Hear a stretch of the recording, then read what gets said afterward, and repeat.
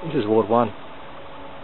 Ward 1 was a uh, psycho-geriatric ward for males.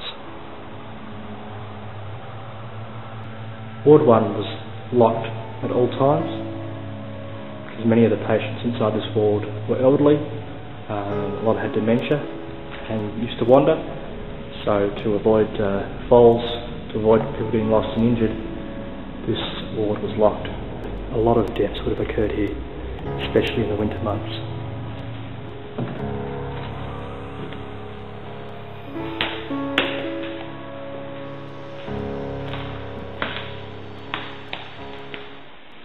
After its closure as a, a ward in Royal Derwent, Ward uh, 1 was um, used by Claremont College and there was some extensive renovations done here. Um, this wasn't an original feature. Unsure what this was going to be used for, this particular ward, um, but as we go further down you'll see that a lot of the old windows have been plastered up. Um, unsure of the purpose.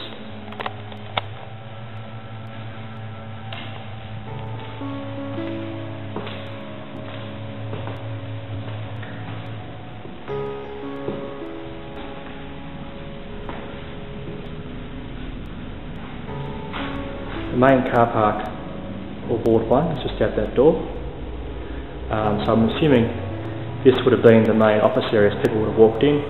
The desk would have been there, would have been greeted by, um, I guess, a staff member, the main office behind it. And this is what I'm talking about here.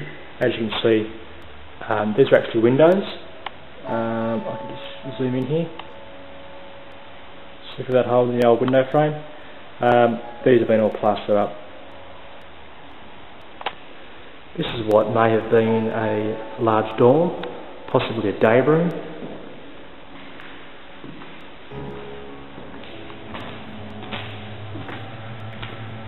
Uh, a doorway would have been there, which has been ripped out basically. Through there, uh, I guess they would have kept linen, um, you know, pillows, blankets, things like that. Maybe even possibly some of the patient's clothes. At the moment, I guess we're in the uh, right section if you're facing the Lachlan Rivulet. And as you can see, here are some more uh, single rooms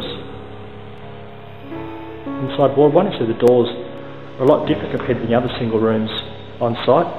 Big, large, uh, open windows in front of the doors.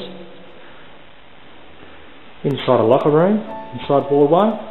And I guess this is where most of the uh, patients' clothes would have been kept.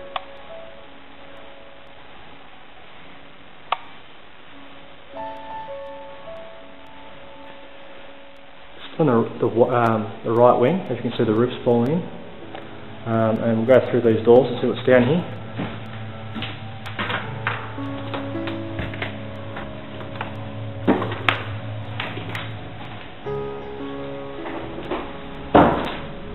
Looks like some storage rooms.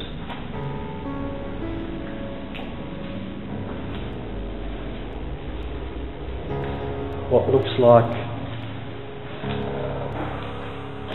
small offices or possibly uh, single rooms again.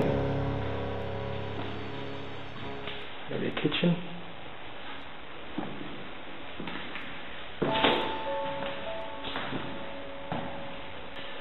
This what looks like might have been a day room. Nice little place to sit down, take in the sun.